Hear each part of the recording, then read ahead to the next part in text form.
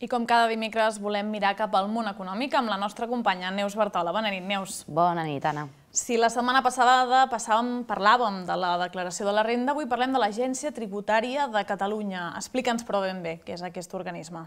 Doncs a l'Agència Tributària de Catalunya, com molts dels nostres espectadors sabran, és l'organisme encarregat de recaptar els tributs propis de la, de la Generalitat de Catalunya.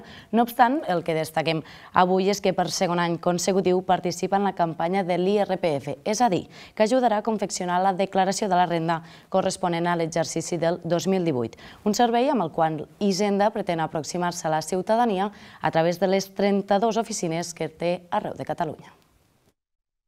Volem ser una administració tributària de proximitat, que donar un servei de qualitat a la gent i els nostres professionals estan oberts a assessorar a totes aquelles persones que vulguin eh, presentar la seva liquidació de l'impost sobre la renda a les oficines que hi ha a tot Catalunya, 32 oficines.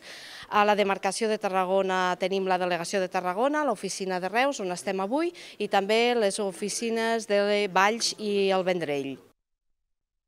Un servei, però, que sembla que encara passa desapercebut entre els ciutadans.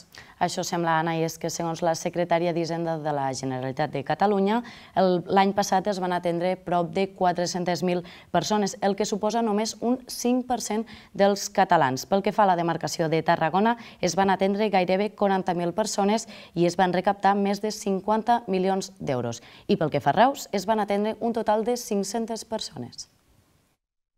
A nivell de la demarcació de Tarragona, l'any passat eh, es van assessorar a més de 1.800 persones, 1.800 contribuents, i el grau de satisfacció d'aquestes persones va ser molt alt, eh, està al 85, eh, perdó, al 95%. Pel cas de l'oficina de Reus es van atendre a més de 700 eh, perdó, a més de 500 persones.